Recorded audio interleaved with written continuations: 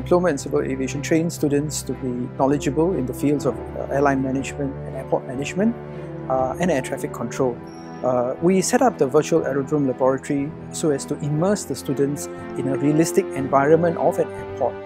Uh, for example, uh, students can take up various roles as airport managers, air traffic controllers, pilots, and role play these roles in an actual scenario-based environment within the virtual aerodrome laboratory. And uh, with this kind of a role play, they are very well versed with the tasks and duties of the various types of people working in an airport and in an air traffic control.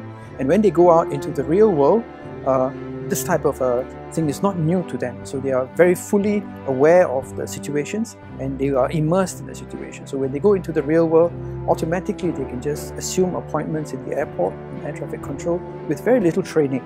It is very essential in civil aviation that uh, the directions, the lightings, and the signs on an um, taxiway and an airport runway are very clear and concise and to the point.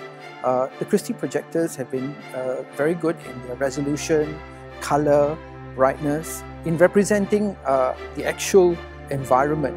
In other words, what you see in the projector is exactly what you would see if you're taking a walk at the aerodrome. It puts the student in an immersive environment in an aerodrome. The Christie projector's resolution is so clear that they can actually match what is in real life to what is in a lab.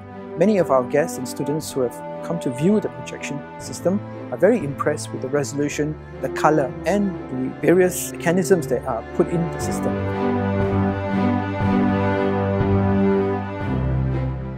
Well, I find the virtual aerodrome lab actually realistic because we can create um, scenarios of real events that happened before and also we are required to follow certain process and procedures such as giving ATC commands and also the standard operating procedures. The visuals um, follow closely of what is being represented at our airport such as the features uh, like lightings, uh, taxiway markings and etc. I find that the visuals presented at the lab are actually good because some of the features are actually functional and not just for show for example, the aerobridge, is, we can actually engage it and disengage it and follow the approval from ATC. ST Electronics Training and Simulation Systems developed the virtual aerodrome laboratory that you see behind me. VAL was designed based on the syllabus from Republic Poly's Diploma in Aviation Management Christie was able to meet our requirement based on uh, product reliability, price competitiveness, and of course the uh, availability of technical support that we needed.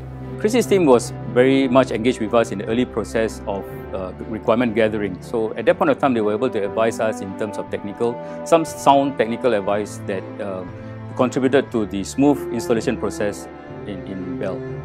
In ST Electronics, uh, we pride ourselves in providing a high quality solutions to our customers and we work with partners who are able to help us achieve these objectives. In that uh, aspect of things, Christie was able to do a very good job.